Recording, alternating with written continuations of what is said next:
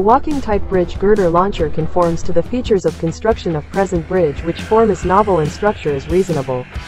The main girder and main connecting structures of walking type bridge girder launcher adopt the mature pin connecting mechanism, it is very firm and reliable.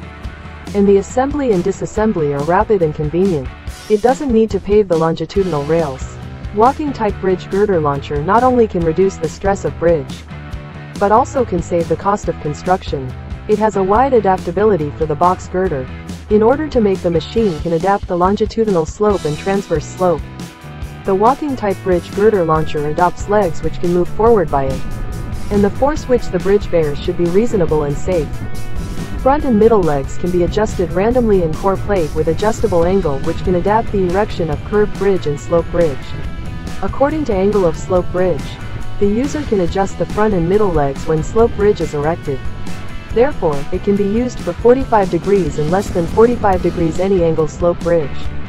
Transverse trolley is added to the lifting trolley. The whole walking type bridge girder launcher traverses with boundary beam which resolve the problem of installation of boundary beam.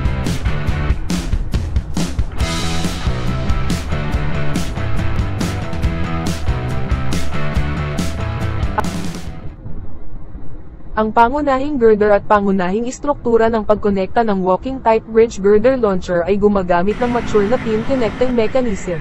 Ito ay napakatibay at maaasahan. At ang pagpupulong at disassembly ay mabilis at maginhawa. Hindi nito kailangang ihanda ang mga longitudinal na riles.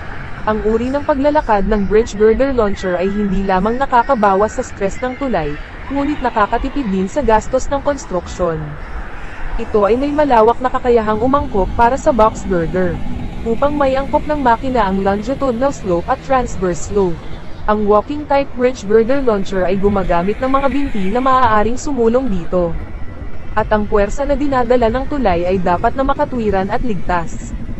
Ang harap at gitnang mga binti ay maaaring i-adjust ng random at ang core plate na may adjustable na anggulo na maaaring iakma ang pagtayo ng curved bridge at slope bridge. Ayon sa anggulo ng slope bridge, maaaring ayusin ng user ang harap at gitnang mga binti kapag itinayo ang slope bridge. Sa makatuwi, maaari itong gamitin para sa 45 degrees at mas mababa sa 45 degrees anumang anggulong slope bridge. Ang transverse trolley ay idinagdag sa lifting trolley. Ang buong walking type bridge girder launcher ay tumatawid na may boundary beam na lumulutas sa problema sa pag-install ng boundary beam.